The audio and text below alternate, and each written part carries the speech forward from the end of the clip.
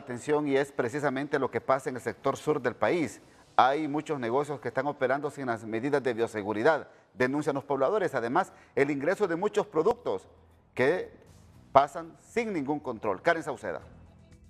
Amenazados por el COVID-19 se siente la población de San Lorenzo Valle, porque empresas cementeras y negocios de material de construcción iniciarán operaciones y algunas de estas ofrecen al mercado producto proveniente de China. Ah, estamos molestos, estamos bien preocupados, pues porque que salga un contaminado de ahí, pues.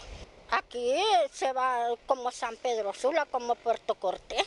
Y peor que no son ni de aquí. Imagínense que son chinos los que están ahí en esa Guampén.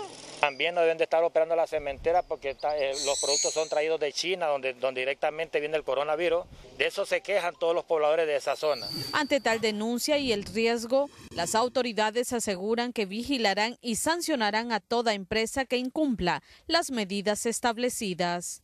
Nosotros pedimos a la población que existe un, un número que es el 911 de la denuncia que pone el ciudadano. No, es necesario dar su nombre, pero sí necesitamos que nos esté informando qué es lo que está pasando en su barrio. Eh, les pedimos a todas las empresas que sean responsables con los trabajadores. Las empresas que están laborando por alguna razón deben de dotarle todos los insumos necesarios para que la gente eh, pueda tener eh, menor posibilidad de enfermarse o de contagiarse. Desde San Lorenzo Valle, Karen Sauceda, Telenoticias Matutino.